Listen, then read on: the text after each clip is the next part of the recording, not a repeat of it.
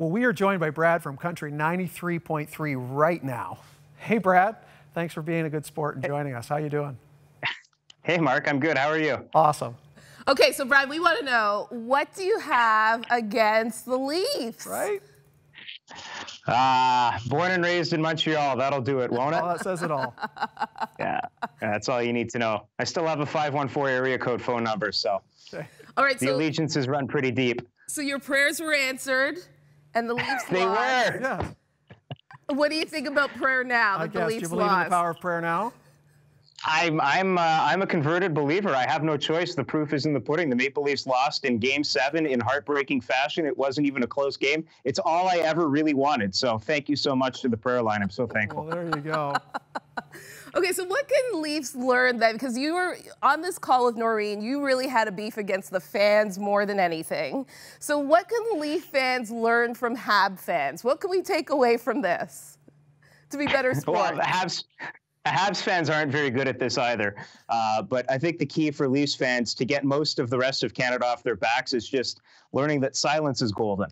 Sometimes less is more. Okay, fair enough.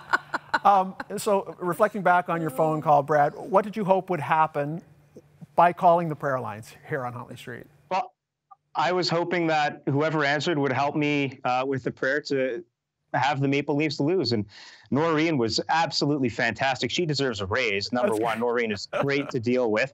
She's so funny and so genuine and so kind. Uh, she wasn't very willing to go directly down the path of negativity like I wanted for the Maple Leafs to lose, but uh, we found our way there eventually with just hoping that maybe if the Leafs won, their fans wouldn't be too terribly annoying. So I'm happy with the result. The Maple Leafs lost. Uh, their fans were very quiet, and they've been very quiet ever since. So I'm a happy man.